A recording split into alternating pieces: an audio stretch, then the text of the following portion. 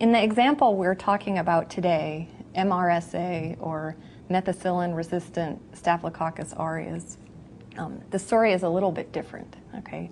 Staphylococcus aureus is not a bacteria that is normally a pathogen like strep throat or tuberculosis. Staph aureus lives on your skin normally, and um, so we call this a commensal bacteria or a normal flora, right?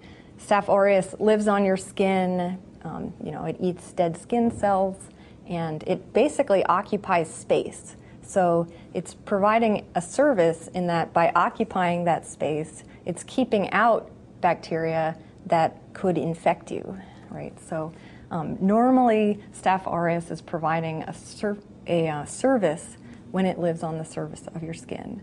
It doesn't normally cause any infection. The only time it causes an infection is when you have a pretty serious wound or when you end up in the hospital and you have a surgery that creates a wound, right? And sometimes Staph aureus ends up in a place where it doesn't belong. So it might end up in the bloodstream and cause an infection there, right, where your body doesn't know how to handle it. Okay, so why does Staph aureus evolve resistance to antibiotics? Okay, the problem here is that Staph aureus lives on your skin all the time, right? So when you take an antibiotic for strep throat or anything else that infects you, that Staph aureus that lives on your skin is getting exposed to that antibiotic. That means that Staph aureus gets exposed to lots more antibiotics, probably even than pathogens do. Okay, so if you've been taking a lot of antibiotics, it's quite likely that commensal bacteria like Staph aureus that live on you will have acquired resistance to some antibiotics. Since I know something about the evolution of antibiotic resistance in bacteria, I'm particularly bothered by the recent trend of putting antibacterials in products like hand soap. Antibacterials are just antibiotics that have been labeled with a different name, and maybe you should be alarmed that we're putting this hand soap with an antibiotic in it onto our hands every day where our commensal bacteria are going to encounter it. Okay, the first problem is that the, adding the antibacterial to the hand soap doesn't seem to add any benefit.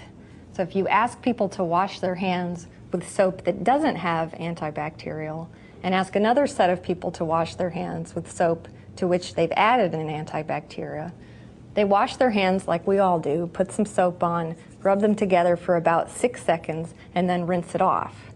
Six seconds isn't a lot of time for that antibacterial to do anything.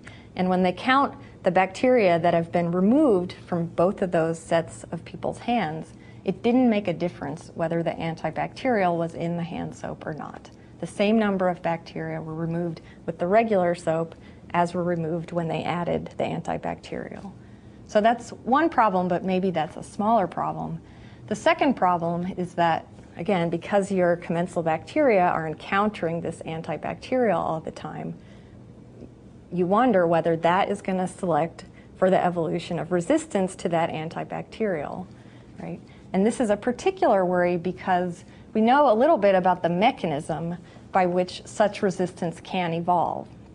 So, one way that you see resistance to antibiotics in general evolve is that bacteria make a thing called an efflux pump on the surface of their cells, and that pump works to pump out toxins from the cell. Right? Antibiotics are a toxin, and some of them can get pumped out through these efflux pumps.